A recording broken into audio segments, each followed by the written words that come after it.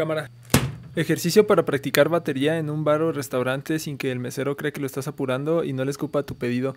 Para poder hacer el ejercicio primero le vas a pedir al mesero unos palillos de comida china o en su defecto un par de tenedores o en su defecto un par de cucharas o en su defecto un par de baquetas con una batería completa incluida. Pero no te preocupes, normalmente sí tienen palillos. Una vez que los traiga vas a practicar sobre la mesa el rudimento más sencillo y básico de todos que solo consiste en hacer derecha, izquierda, derecha, izquierda, derecha, izquierda, derecha, izquierda. Hasta aquí todo fácil, pero el mesero podría pensar que lo estás apurando, ya que este rudimento no tiene matices ni acentuaciones y para él solo eres un comensal con ansiedad de comer sopita.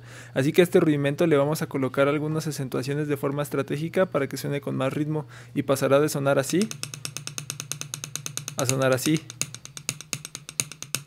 Como te podrás dar cuenta es más difícil tocarlo con acentos, pero de esta forma evitas que el mesero piense que lo andas apurando y sirve de que va soltando los brazos en lo que te traen tu comida Incluso el mesero va a decir, wow, al principio pensé que solo era un comensal con ansiedad de comer sopita, pero ahora veo que en realidad es un baterista tratando de superarse ya que al agregarle acentos al rudimento más sencillo, cuyo nombre es golpe sencillo, está no solo evitando un gargajo en su sopa, sino que también enriquece su lenguaje musical mientras espera pacientemente a que yo le lleve sus alimentos.